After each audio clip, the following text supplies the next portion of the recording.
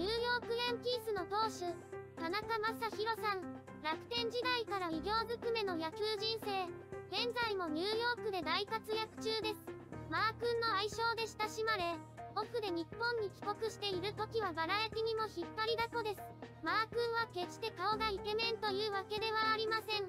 高校時代現日本ハムファイターズの斎藤佑樹投手と甲子園で投げ合い人気を博しました。当時は斎藤投手がハンカチ王子と呼ばれ、イケメンとしてもてはやされました。マー君も当時から大人気でしたが、ハンカチ王子人気が落ち着いた今も、マー君人気は高まるばかりです。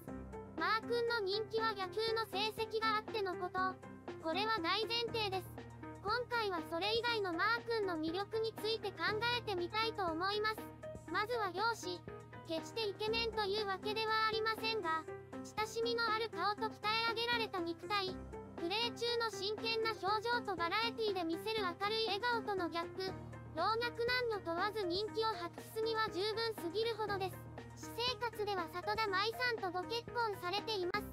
二人の出会いは番組での共演。今は料理好きのイメージが定着した里田さんですが、マー君と交際を始めてから料理の勉強を始めたそうです。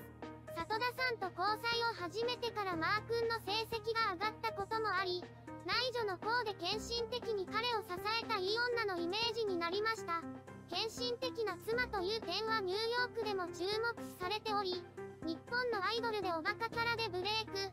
それでいて夫を支え、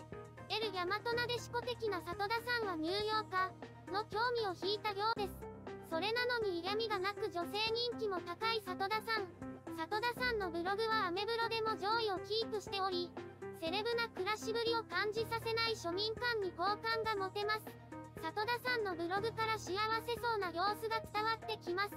里田さんがマー君のことを大好きなんだなぁと読んでいて感じますし、マー君も里田さんを大事にしているんだなぁと感じます。素敵な奥様を持ち、ほっこりした家庭を感じさせるマー君、非常に魅力的ですね。また、マー君は大のアイドル好きで、ハロプロやモモクロ、AKB グループなどにびっくりするほど詳しい一面を持っています。アイドルについて語るマー君は、どこにでもいる26歳の男性です。まあ、アイドル好きで本当にアイドルを嫁にしている男性はどこにでもいるわけではないですが、そんな様子からも、大投手であるにもかかわらず、親しみやすさを感じさせます。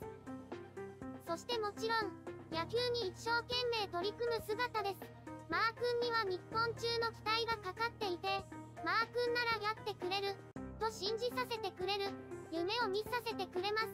こんなにも魅力的なマー君。今年もいろんな場面で私たちを楽しませてくれたら嬉しいです。いつまでも応援したいと思える、本当に偉大な選手です。